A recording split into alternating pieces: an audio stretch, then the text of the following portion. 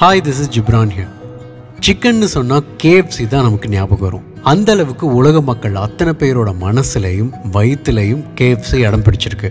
ஆனால் அப்படி இடம் பிடிக்கிறதுக்கு அதோட ஃபவுண்டர் கொலனல் சாண்டர்ஸ் எப்பேற்பட்ட இன்னல்களையும் தாண்டி வந்தாருன்னு இன்னைக்கு நாம பார்க்க போகிறோம் கொலனல் சாண்டர்ஸுக்கு வெறும் ஆறு வயசு இருக்கும்போதே அவரோட அப்பா இறந்து போறாரு. அதனால அவரோட அம்மா ஒரு ஃபுல் டைம் ஜாப்க்கு போய் தன் குழந்தைங்களை காப்பாத்திக்க வேண்டிய சூழ்நிலை. அப்போ வீட்டில் இருக்கிற தன்னோட சிப்ளிங்ஸையும் தானே தான் பார்த்துக்கணுங்கிற நிலைமை சாண்டர்ஸ்க்கு ஏற்படுது. அந்த ஆறு வயசுல சாண்டர்ஸ் சமையலை கத்துக்கிட்டு தன்னோட சிப்ளிங்ஸ்க்காக சமைக்க ஆரம்பிக்கிறாரு. வெறும் ஒரே வருஷத்துல அதாவது அவரோட ஏழாவது வயசுல அவர் ஒரு கைத்தேர்ந்த சமையல்காரராக ஆகிறாரு.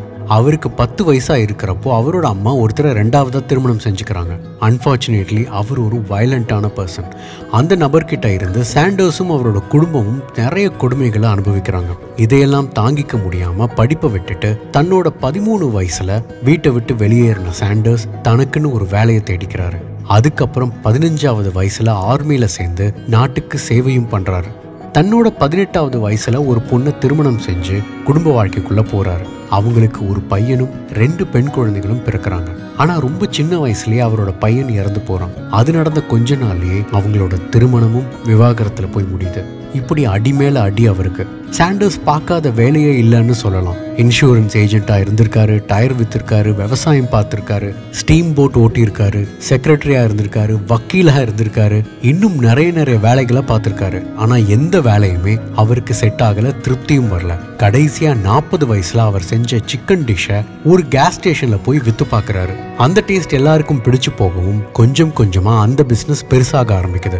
ஒன் ஃபார்ட்டி சீட்ஸ் கொண்ட ஒரு ரெஸ்டாரண்ட்டாக அந்த பிஸ்னஸை சாண்டர்ஸ் டெவலப் பண்ணுறாரு அந்த சமயத்தில் தான் அவரோட ஸ்டைல் ஃப்ரைட் சிக்கனோட சீக்ரெட் ரெசிபியை உருவாக்குறாரு. எல்லாமே நல்லா போயிட்டு இருக்கப்போ திடீர்னு அவரோட அறுபத்தஞ்சாவது வயசுல அந்த பிஸ்னஸ் ஒரு பெரிய தோல்வியை சந்திக்குது. எக்கச்சக்க நஷ்டத்துக்கு உள்ளாகுது.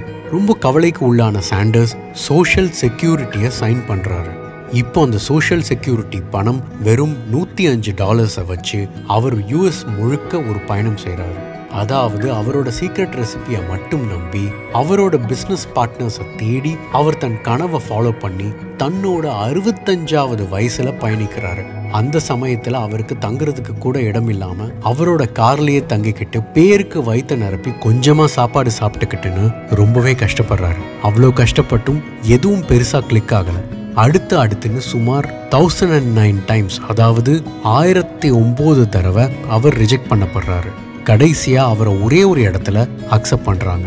அதுக்கப்புறம் அவருக்கு அறநூறு ஃப்ரான்ச்சைசஸ் கிடச்சிது. அப்படியே ஊரெல்லாம் அவரோட சிக்கன் ஃபேமஸ் ஆகுது.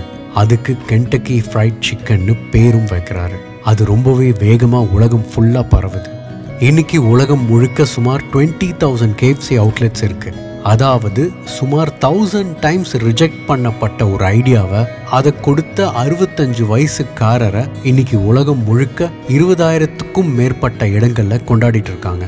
கேட்குறப்பவே புல்லரிக்குதுல்ல ஏஜ் இஸ் ஜஸ்ட் அ நம்பருங்கிறதுக்கு பெஸ்ட்டான எடுத்துக்காட்டாக தான் சாண்டர்ஸோட லைஃப் நாற்பது வயசு ஆயிடுச்சு இனிமே என்னத்தை பேரம்பேத்தி எடுத்தாச்சு இனிமே என்னத்தை? இந்த மாதிரி எல்லாம் நிறைய பேர் சொல்லி நாம கேட்டிருப்போம். இதே மாதிரி சாண்டர்ஸும் சொல்லியிருந்தாருன்னா இன்னைக்கு கேஎஃப்சி இல்லை. நீங்க ஏதாவது பண்ணாலும் எதுவும் பண்ணலைனாலும் வருஷம் ஆக ஆக வயசு ஏறிக்கிட்டே தான் போகும். எதுவும் பண்ணாம வெட்டியா இருந்து வயசை ஏத்திக்கிறதுக்கு ஏதாவது செம்மையா பண்ணி வயசு ஏறினாலும் மனசை இளமையா வச்சுக்கலாம்ல. So think about it because age is just a number உன் வாழ்க்கை உன் கையில்.